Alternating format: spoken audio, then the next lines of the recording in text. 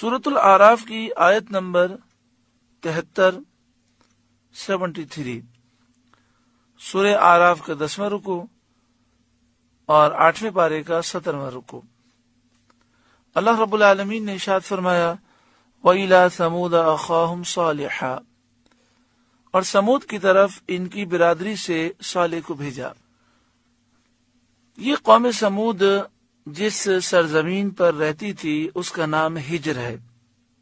इसी वजह से एक सूरत का नाम सूरह हिजर है।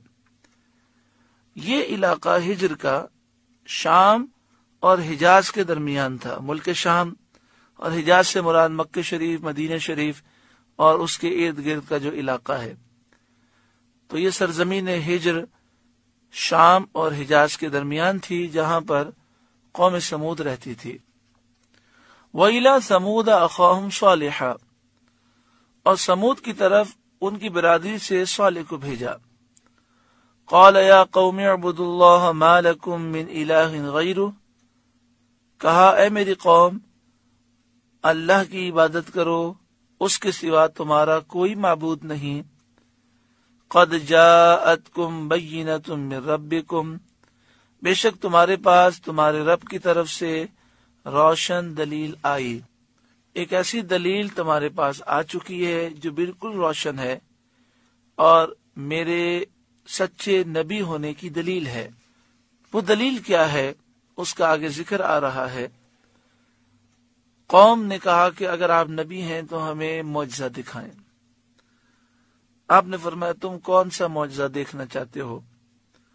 तो कौम पत्थरों को तराश कर मकानात और महल बनाया करती थी। उसने कहा, ये सामने पहाड़ है, ये पहाड़ फट जाए। और पहाड़ के फटने के बाद इसमें से ऊंटनी निकले और ऊंटनी हामिला निकले और निकलने के बाद वो बच्चे को जन्म दे, यानी उसके बच्चे को पेट में दस महीने हो चुके हों और हमल का वक्त हो तो ऊंटनी बाहर निकलकर बच्चे को जन्म दे। ये निशानी देखेंगे तो हम ईमान ले आएँगे। आपने अल्लाह ताला की बारगाह में दुआ की, पहाड़, शक हुआ, और उसमें से ऊँटनी निकली, जो दस महीने की हामिला थी। निकलते ही उसने बच्चे को जन्म दिया। अब वो ऊँटनी इतनी बड़ी थी, गोया कि एक पहाड़ था।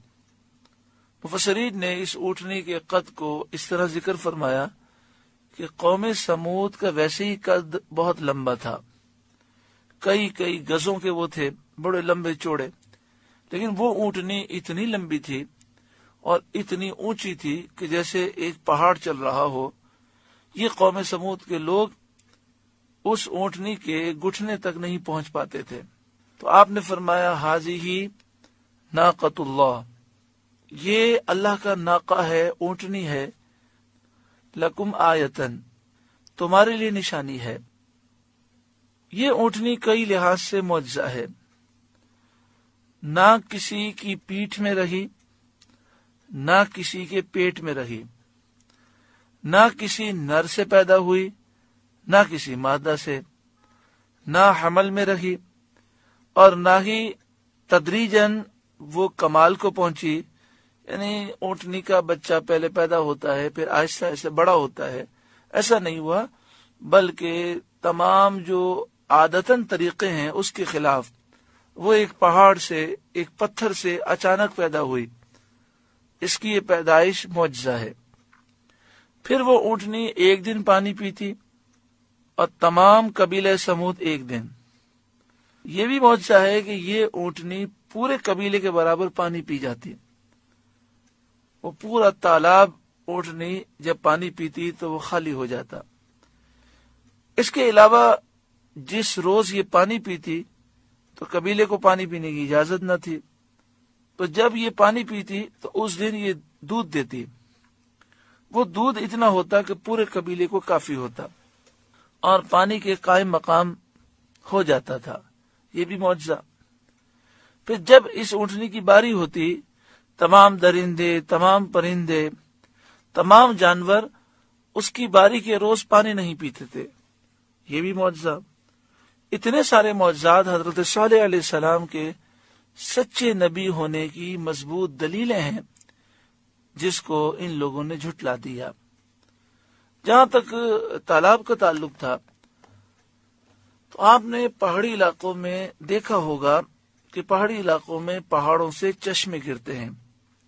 तो इन लोगों ने वो पहाड़ी इलाकों से जो चश्मे गिरते हैं पहाड़ों से, उनके ज़रिए उन्होंने नालियाँ बनाई थी और पानी सारा जमा होकर एक तालाब में गिरता था।